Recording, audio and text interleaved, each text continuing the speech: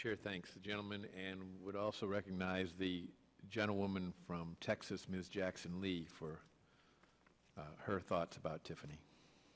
Chairman, thank you, and for those who may not remember or will remember, uh, we remember her as a joyful and spirited young woman who I had the privilege of interviewing over a series of days.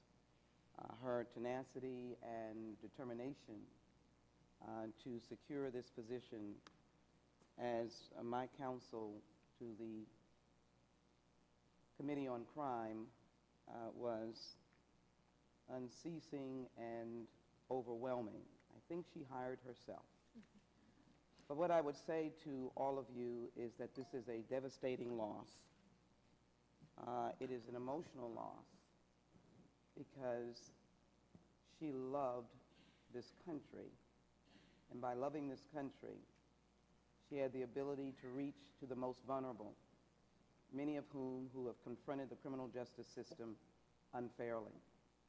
But even with that philosophy, she had the ability to listen to other positions and help work with us and Mr. Conyers and all of our staff and the Republican staff and Mr. Goodlatte, Sensenbrenner on crafting enormously far-reaching and reformational changes to the criminal justice system for the better.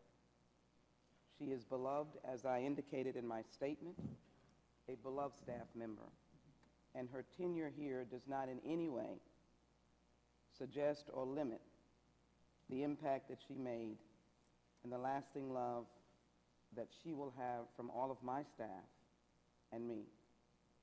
To our fellow staff members and members whose staff engaged with her, mostly each and every one of you, she was determined to get on every bill that we were attempting to pass, and two of them we did pass.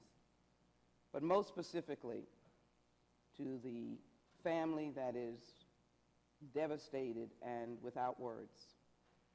I'll close by saying that Tiffany left Washington to comfort her two younger stepbrothers for the tragic loss that they had in a loved one killed in a car crash. And the Sunday before she was to come back, she and her brother, two children of her father, uh, were killed in a car crash. And her beloved cat was injured and other sister-in-law as well was injured. So we know what a tragedy it is. Mr. Chairman, I thank you for allowing me and Mr. Ranking Member, full committee, uh, for allowing me to pay this tribute. We will be going with staff to her memorial today, but we invite all of you, including those from outside this room who gave so many tributes, to join us in April for a befitting uh, tribute uh, to this vital, young, energetic young American. Uh, with that, Mr. Chairman, I hope that we will have an opportunity for a moment of silence, but I yield back to you at this time. I thank the gentlewoman, and before we have a moment of silence, I'd also like to uh,